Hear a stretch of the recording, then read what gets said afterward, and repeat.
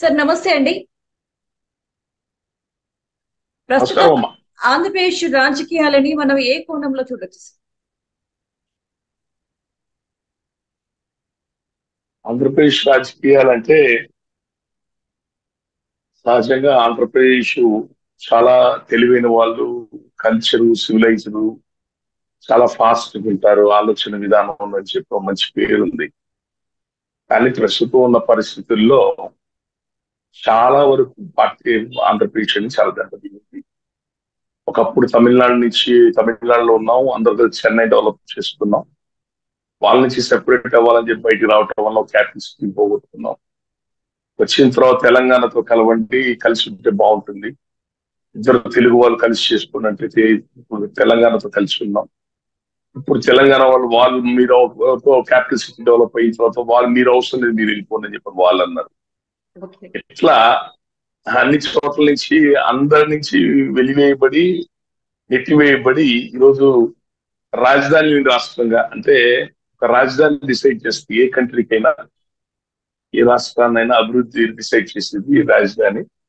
బెంగళూరు లాంటి సిటీ ఉండబట్టే కర్ణాటక డెవలప్ అయింది. కర్ణాటకలో చాలా అభివృద్ధి కారణం బెంగళూరు. ఈరోజు తెలంగాణలో హైదరాబాద్ ఉండబట్టే తెలంగాణ లేకపోతే చాలా కష్టం అభివృద్ధిలో. అది కాపాడుతుంది. ఆ సిటీకి వచ్చే ఆదాయం మిగతా స్టేట్ మొత్తాన్ని కూడా కాపాడుతుంది. ఇప్పుడు ఆంధ్రప్రదేశ్ ఎక్కడ మొదట్లో ఉంది స్టార్టింగ్లో ఉంది. గత ప్రభుత్వంలో రాష్ట్రంలో అందరికీ మధ్యలో ఉండాలని చెప్పని ఒక రాజధాని పెడితే అదే రాజధానిని ఆ ప్రతిపక్ష నాయకుడిగా జగన్మోహన్ రెడ్డి గారు కూడా ఒప్పుకున్నారు అసెంబ్లీలో. ఇప్పుడు ఆయన అధికారంలో రాగానే దాని మూడు రాజధానులు నాలుగు రాజధానులు. అంటే రాజకీయ ఎవరు రాజకీయాలకు అవసరమైనట్టుగా వాళ్ళు నాలుగు రాజ ఐదు రాజధానులు అని చెప్పని ఉన్నదాన్ని పాడు చేశారు. కొత్తది ఎక్కడ నిర్మాణం చేస్తున్నారో తెలియదు ఈరోజు సడన్గా ఎవరికన్నా సివిల్ ఎగ్జామ్స్ గ్రూప్ ఎగ్జామ్స్ పెట్టి ఆంధ్రప్రదేశ్ క్యాపిటల్ ఎక్కడంటే ఎక్కడ ఎక్కడో రాయాలి ఎక్కడ ఎక్కడ ఉందో చెప్పలేని పరిస్థితిలో ఆంధ్రప్రదేశ్ క్యాపిటల్ సిటీ అనేది లేకపోతే ఇన్వెస్టర్స్ తేలేము. అభివృద్ధిని తీసుకురాలేము. చాలా చాలా రకాల ఇబ్బందులు ఉంటాయి. అది అన్ని రకాలుగా వెనుకబడి వెనుకబడిపోయి ఒకప్పుడు బాగా డెవలప్డ్ స్టేట్ అని చెప్పిన స్టేటు ఒరిస్సా బీహార్ అలా కొన్ని ఆ రాష్ట్రాలు మనకంటే బాగున్నాయేమో ఎకానమీలో. అప్పులు తెచ్చి పథకాలు నడుపుకోవటం అప్పులు తీసుకొచ్చి ప్రభుత్వ జీతాలు ఇచ్చిపోవటం వడ్డీలు కట్టుకోవటం ఇలాంటి స్థితికి వచ్చింది. ఇది చాలా బాధాకరమైన విషయం. ఏ రాజకీయ పార్టీకి కూడా బాధ్యత లేదు. ఎవరు అధికారం నుండి డబ్బు సంపాదించే పనులు ఉన్నారు తప్ప ఈ రాష్ట్రాన్ని కాపాడదాం ప్రజల అభివృద్ధిలో తీసుకెళ్దాం ఆలోచనలో ఎవరు లేరు. అదే బాధాకరమైన సన్నివేశం. మీరు ఆంధ్రప్రదేశ్ మొదట్లో ఉంది అని చెప్పారు కాబట్టి ప్రశ్న వేయాలి అని అనుకుంటున్నారు సార్. అంటే ఆంధ్ర ప్రజలు ఎక్కడున్నా మేము తెలివైన వాళ్ళం చురుకైన వాళ్ళం అనే ఉద్దేశంతో డామినేషన్ చూపించడం వల్ల ఎదుటి ఆ ప్రాంతీయ వాళ్ళను డామినేట్ చేయడం వల్ల ఈ స్థితికి వచ్చిందా అనేది నాకు ఒక అనుమానం. అట్లా ఏం లేదండి. తెలుగు వాళ్ళు ఒకప్పుడు కేరళ వాళ్ళు అన్ని ప్రాంతాలకు వెళ్తారు స్థిరపడతారు ఎట్లా చెప్పుకుంటారు? అలాగే విధంగా ఈ రోజున తెలుగు వాళ్ళు ముఖ్యంగా ఆంధ్రప్రదేశ్ వాళ్ళు అనేక ప్రాంతాలకు వెళ్ళి స్థిరపడ్డారు. కర్ణాటకలో బెంగళూరు కానీ బళ్ళారి కానీ సింధులు రాయచూరు రీజియన్స్లో ఉన్న పొలాలు కొనుక్కొని వ్యవసాయం చేసుకునే వాళ్ళు కానివ్వండి ఉత్తర భారతదేశంలో కానివ్వండి అమెరికా లాంటి దేశాల్లో కానివ్వండి యూరోప్లో కానివ్వండి కెనడా కానివ్వండి మీరు చూసుకుంటే ఇండియాలో ఏ స్టేట్స్ వాళ్ళు ఎక్కువ ఉన్నారో చూసుకుంటే ఆంధ్రప్రదేశ్ వాళ్ళు తెలుగు వాళ్ళు ముఖ్యంగా ఆంధ్రప్రదేశ్ వాళ్ళు గణనీయంగా కనిపిస్తారు మరి అక్కడెక్కడ లేని సమస్య ఇక్కడ ఎందుకు వస్తుంది? ఇక్కడ ఎందుకు వస్తుందని అంటే అధికారం అనుభవించిన కేవలం రెండు కులాలు. అంటే ఒకరు రెడ్డి సామాజిక వర్గం ఒకటి కమ్మ సామాజిక ఈ రెండు కులాలు తెలంగాణ ప్రాంతం అనేది ప్రజలు చాలా స్వచ్ఛమైన మనుషులు కల్లోదు అమాయకులు అక్కడ ఉన్న ఆస్తుల్ని భూముల్ని ఎక్స్ప్లాయిట్ చేశారు. హైటెక్ సిటీ డెవలప్ చేశారని చెప్పి చంద్రబాబు నాయుడు గారు తన సంబంధించిన వాళ్ళందరి చేత హైటెక్ సిటీ అనౌన్స్ చేయకముందు అక్కడ భూములు కొనేశారు. ఎకరం ఐదు వేలకు కొని ఇప్పుడు గజం యాభై వేల రూపాయలకి లక్ష రూపాయలు అమ్ముతున్నారు రెండు లక్షలు అమ్ముతున్నారు గజం అది ఇట్లాంటి ఎక్స్పెక్టేషన్ అది మిగతా వాళ్ళు ఎవరికి సంబంధం లేదు. రూలింగ్ క్యాస్ట్ ఎవరైతే రూలింగ్ చేస్తున్నారో ఎవరైతే మిగతా వాళ్ళ మీద పడి సంపాదించుకోవడం అలవాటు పడ్డారో కాంట్రాక్టింగ్ మీద బ్యాంక్ లోన్లు ఎగ్గొట్టడం కాంట్రాక్టులతో అన్ని కాంట్రాక్టులు వాళ్ళే తీసుకోవడం ప్రభుత్వ సంపదను అధికారం అంటే మీకు ప్రభుత్వ సంపద సంపాదించుకున్న వాళ్ళు ఈ రెండు కులాలే ప్రధానంగా. ఎక్కడికి వెళ్ళినా? ఈరోజు అపర కుబేర్లు ఎవరంటే వీళ్ళిద్దరే. ఆ వాళ్ళు చేసిన కొన్ని పనుల వల్ల తెలంగాణలో ఇక్కడ ప్రజల నుంచి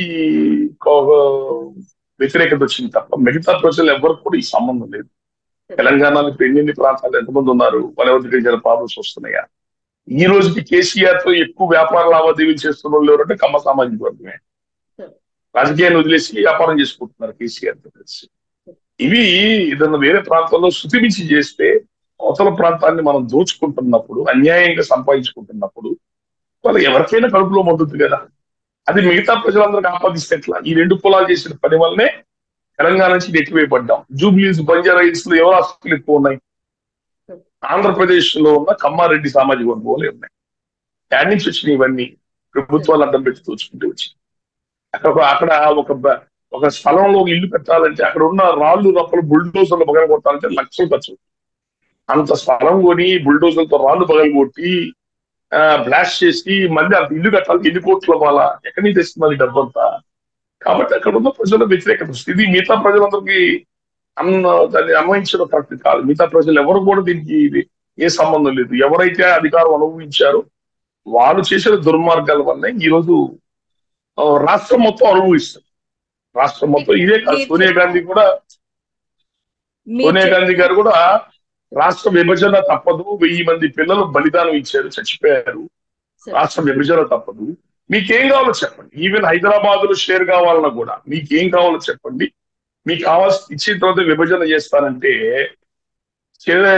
ఇద్దరు కలిసి కూడబడుకొని ఎన్నిసార్లు అడిగినా అన్నదమ్ముల్లా కలిసి ఉంటాం జై సమేతం ఇంట్లో మన అన్నదమ్ములతో మనం కలిసి ఉండకపోతే వాడెవరితో మనం కలిసి ఉండేది ఏంటంటే నేను వెళ్ళిపోతాను ఇది మోసం కాదా? సమైకాంధ్ర ఉద్యమాల మోసం కాదా?